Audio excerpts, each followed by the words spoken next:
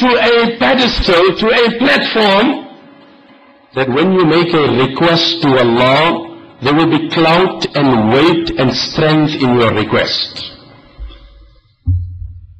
فَيُقْضَى لَهُ مِنَ الْحَوَائِجِ Here comes the point of temptation. Here comes the element of benefit versus harm. فَيُقْضَى لَهُ مِنَ الْحَوَائِجِ أَضْعَافَ أَضْعَافَ مَا فَاتَهُ مِنْ هَوَاهُ He said, when you don't succumb to your ego, for the moment your ego will throw a tantrum, like a child throws a tantrum. That's it. Because you have accustomed it to a particular evil and a vice. So if you were popping a pill, or you were chatting with a woman, or you were playing a machine, or you were indulging in intro, whatever the nature of the crime is, I'm just isolating two, three. Every time that you are dependent on that, you will come to that moment, there will be a moment of restlessness, uneasiness, there will be a crave, there will be a withdrawal symptom, whatever it is. If you resist that, he says, your ego will not get the excitement of the moment, but your ranking with your creator will go up so high that one luxury or one fake pleasure of yours will not be catered for, but a thousand requests of yours will be in, in, immediately honored. A thousand requests of yours will be immediately honored. It's your choice, my brother. It's your call. Either I chat with that girl, and I compromise my bond with my Allah, and then I come home and I lift my hands and there's no strength to my du'as, and there's no clout to my requests, and there's no might to my prayers, and I hold the Kaaba and I do my prayers, but it's not coupled with any strength and might and vigor. Or I resist the temptation, benefit versus harm. Look at the harm of the sin, what it's doing to me. One brother had told me he had a habit of smoking many, many years ago. He said, I vowed to Allah that I want to leave this, and he didn't have children. And he said, Allah, I want children, and I'm asking you, I'm giving up this evil practice, bless me with children. He said, I continued for a few months, we got into a social circle, and here everybody takes out a cigarette, and then I was offered, and obviously my ego went to its provocation at optimum, and then I asked myself, do I want a cigarette or do I want children? Do I want the cigarette or do I want children? My brother, do you want an Allah or do you want a woman? Do you want the happiness of this life? The wholesome nature of a pure, wholesome life? That you come home and you don't only share a one roof, but you share a common life. Versus the modern day poverty, what I call. What's the modern day poverty? Sharing one roof, living independent lives. So at times you are awakened by the call of nature and two o'clock you go to the toilet or the washroom and you see the light of your son on in his room or the light of your daughter on and you knock the door and you get in. It would have been great. It would have been awesome. It would have been tearing if you walked in that room and you found your daughter in prostration and you seen your son holding the Quran. But on the reverse, you'll find a haughty youngster a snobbish young girl who's got an earphones on her head, playing on the computer, heaven alone knows with which boy she's chatting in which part of the world. Modern day poverty in the heart of affluence, sharing one room, sharing one roof, living distinct lives. The call is yours, my brother. We are at the threshold of Ramadan. I said, what is 15 Shaban? 15 Shaban is a pre-wash. The actual wash happens. You're getting rid of the stubborn stains. And then you do the thorough wash in Ramadan. Here you are, my brother, here's the call. Then he cites few examples. Sufyan Thawri, rahmatullah alayhi, a great scholar, a great scholar, who was known for his control over his ego. One day one brother did me a favor. I asked him what I owe you. He said, no, no, don't insult me with money, but I do have a request. I said, okay, what's it? He said, make one prayer for me, a simple dua. I said, okay, what's it? Just make dua that Allah give me strength to overpower my ego. I said, the dua is simple. The work is not simple, my brother. That's far from simple. One leg on your ego, the next leg in paradise. That guy said, I'm on my way, all excited. Where you? I'm getting married to the princess. Wow. Is that true? Yes, I love her. She just has to love me. In that, in that first statement, it's not only you, whole world loves her. You're not the only one that has the exclusive rights of loving her. In fantasy, the whole world is with you. But for her to just love you, dream. Dream, my brother. It's a lifelong challenge. It's a lifelong challenge. At times my heart agonizes me, at times I agonize my heart.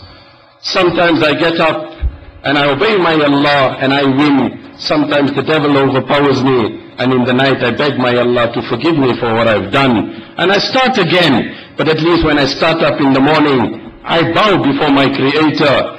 Ask yourself, have you ever, have you ever in your life, and you decide what's your age and you know better, started the morning, commenced the break of dawn, Oh my Lord, my agenda for today is I'm not going to disobey you at all.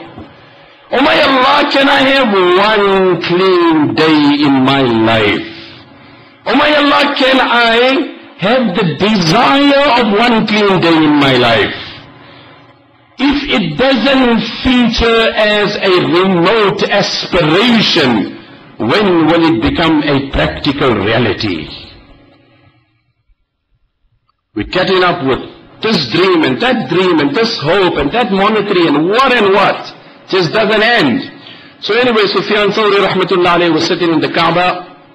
Abu Ja'far Mansur, Abu Ja'far Mansur had ordered the execution of Sufyan Thawri rahmatullah alayhi. He said, apprehend him and kill him. His head was in the lap of Fudayl ibn Ayaz. So Fudayl ibn Ayad said, اتق الله ولا تشمت بنا الأعداء. There is a warrant of arrest and uh, Abu Ja'far has ordered your apprehension and your subsequent assassination. Take measures and be on guard. He was reclining at the Kaaba. He was a man who had mastered the courage to control his lustful soul. So he had a bond that was developing with his Allah. He had a relation that was establishing. So it comes in the narrations, he just leaped forward. فَتَقَدَّمَ إِلَى الْأَسْطَارِ And then he held onto the cloth of the Kaaba. And he said, بَرِئْتُ مِنْهُ إِن دَخَلَهَا أَبُو جَعْفَرَ Allah, I ask you through the agency of the relation that we enjoy for a very long time. Allah, I don't want Abu Ja'far to put his foot in Mecca. And oh my Allah, I say to you, I'm not going to settle for anything less. When you read the prayers of the pious, by Allah you will realize they didn't only supplicate their Allah, they spoke to Him. They spoke to Him. Oh my Allah, Zakaria alayhi salam, إني وهن العظم مني واشتعل الرأس شيبا ولم أكن بدعائك رب شقيا وإني خفت الموالي من ورائي وكانت امرأتي عاقرا فهب لي من لدنك وليا Oh my word. I wish you knew Arabic to comprehend the eloquence and the profoundness. Zakaria supplicates his Allah, the opening verses of Surah Maryam. He's hundred years of age. He doesn't have a child. He says, وَهَنَ الْعَظْمُ مِنِّي Oh my Allah, my bones are weak. The time has passed. واشتعل الرأس شيبا My hair has given off repeated white strands. ولم أكن بدعائك رب شقيا But you've never denied and deprived me. وإني خفت الموالي من ورائي And if I don't have a son, I don't see anyone liable that will carry on my mission after my demise. Allah, I'm old, I'm aged, I'm weak, I'm feeble. Time has passed, the moment is gone. But you kind, فَهَبْ لِي مِنْ لَدُنْكَ وَلِيًّا Do me that favor and confirm that my wife will conceive and I'm going to have a baby. وَجْعَلْهُ رَبِّ رَضِيًّا And oh my Lord, if you are going to accept my prayer, please make him obedient to you before conception. Let me know he's going to be pious when he's born. I mean, he wasn't praying only, he was talking to his Allah. He was talking. You want to talk to your bank manager? Talk to Allah. walking in the street. Oh my Allah, I'm tempted with this woman. My Allah, nobody knows what I'm doing but you. My Allah, I've dropped my gaze. You come, my rebellious son. My Allah, I've dropped my gaze. You bring sanity to my young teenage daughter. Oh my Allah, I've dropped my gaze. You bring piety to my spouse. Oh Allah, I've dropped my gaze. Oh my Allah, you bring wholesome provisions to my house. Oh my Allah, you give me pure income. Oh Allah, you rescue me from my financial crisis, whatever the nature is. Anyway, he dies before he enters Makkah.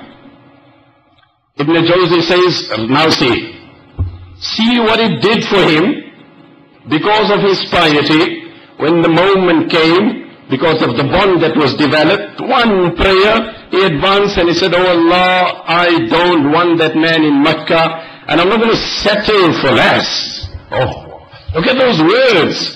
برئت منه إن دخلها أبو جعفر He passes away. Abdurrahman Mahdi rahmatullah alayhi says, I seen him in a dream. I asked him, how was things? How did you fare before Allah? He said, I was lowered into my grave and suddenly I appeared before Allah and then Allah was very kind. My reckoning was simple. I didn't, I wasn't subjected to intense interrogation. It was basic, what you carried, does that, what you did, etc.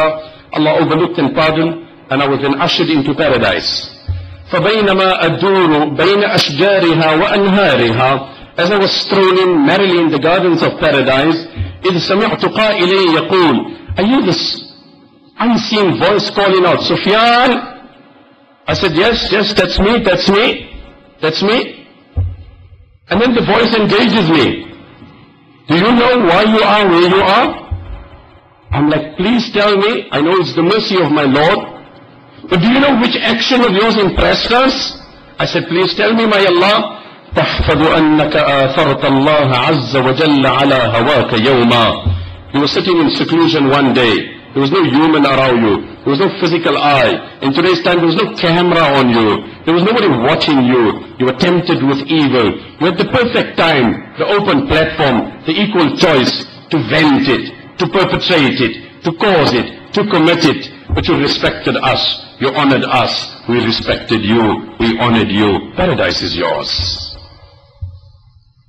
My young boy, make the calculated choice. My young brother, make the calculated choice. That is why I always say, don't react, respond. Reaction is instinctive, and responding is a thought process. When you react, you're instinctive in what you're doing.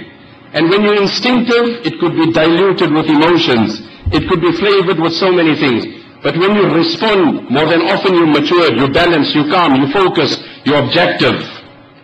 Sufyan Thawri rahmatullah alayhi used to say, لا خير في لذة من بعدها النار. Oh my Allah, what must I do with a woman or a drug, a sin or a vice, the immediate consequences of which is the blazing fire of hell. And Hussein ibn Mutayr rahmatullah alayhi said, ولا خير في لذة لا تقرب الأمر الحرام فإنما حلاوته تفنى ويبقى مريرها. What did he say? He said, do not, do not approach a sin because فإنما حلاوتها تفنى إنما حلاوتها تفنى ويبقى مريرها Its sweetness is the first thing to disappear and its bitterness and regrets never leaves you. Its sweetness is the first thing to disappear and its bitterness never leaves you.